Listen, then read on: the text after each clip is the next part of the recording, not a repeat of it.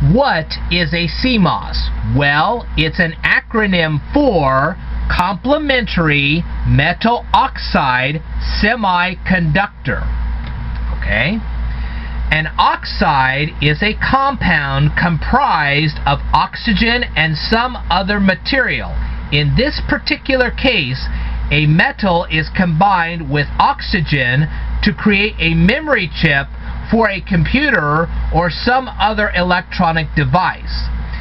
This particular memory chip stores basic input and output system computer information.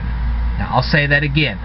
This particular memory chip stores basic input and output system computer information.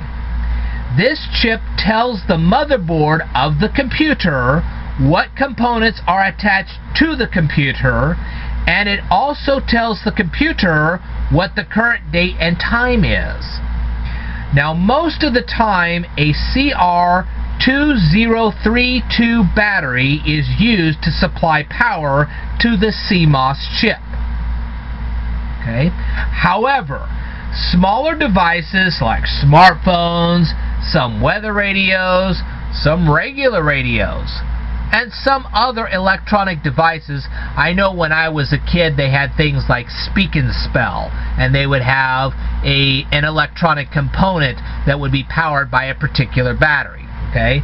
Now these types of devices, because they are so small, are usually not powered by a CR2032 chip, but they are powered by a button battery. And they're really tall, they're really small and they're really round. Okay? So if it's not a 2032 battery, it's going to be something else. And it's going to be probably a lot smaller and just as expensive. Okay? And that is what a CMOS chip is. Okay?